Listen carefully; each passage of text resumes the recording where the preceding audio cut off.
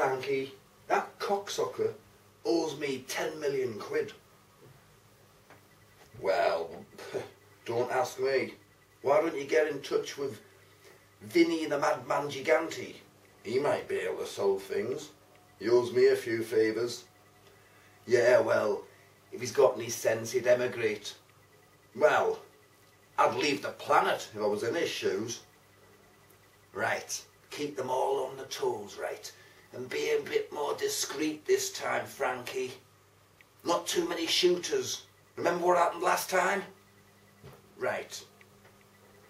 Keep in touch. Let me know of any more developments and I'll see you later. Hello, Hammerheads. Thanks for tuning in. Mm -mm. Sunday, isn't it? We all know what that means. It's Sunday song recommendation time, isn't it? And this week, damn spiders. And this week, a song from 1976 mm, from the album Child in Time by the Ian Gillan Band. Yep. And in my opinion, just my opinion, this is a much better version than the Deep Purple one from 1970. Because the Deep Purple Child in Time, right? Why on earth do they have to repeat the same verse identically? You've got a ma mammoth Ritchie Blackmore guitar solo, right? What separates the two verses. And then when the solo's over, it's like the song's coming back on all over again. You know what I mean? To me, this is how it should have been done. I mean, Ray Fenwick on guitar. It's not Bernie Holland, like he says on YouTube. Like on, I'll leave the link to this song, and if you look at his notes, why do people not do enough fucking research? They get all the facts wrong like that. He said it's Bernie Holland on guitar. Well, it's not. It's Ray Fenwick. I mean, I mean, I had two copies of this. I don't know why.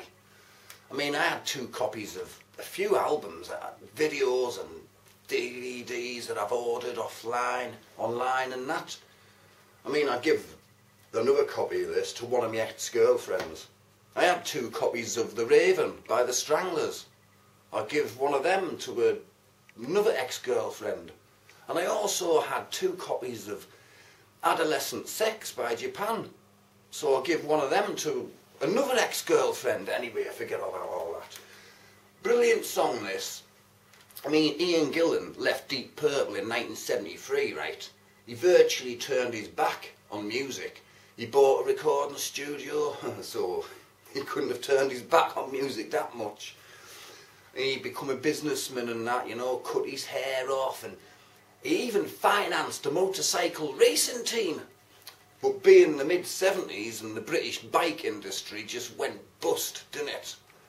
So he was up shit creek, then he thought, I know, I'll get a band together and we'll do an album.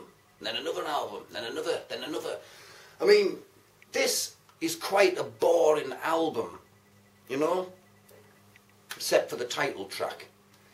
In fact, their first few albums were quite bland and boring. You know, I've got Scarabus, I've got Clear Air Turbulence, and they're just as boring as this one. It's not until he dropped the Ian Gillan band and just became Gillan that his music's really started to kick you in the arse, you know what I mean? Classics like um, Mr. Universe and Glory Road and, you know, brilliant albums like that. And um, I'll leave the link down below, as ever, to this song. And um, wrap your ears around this, because it's very good indeed. Better than the Deep Purple version. Feel free to disagree, hamheads. Now, if you'll excuse me, I have some very important business to attend to. So, I shall bid you goodbye, hammerheads. Oi, mate! I'm trying to get some fucking sleep, you bastard!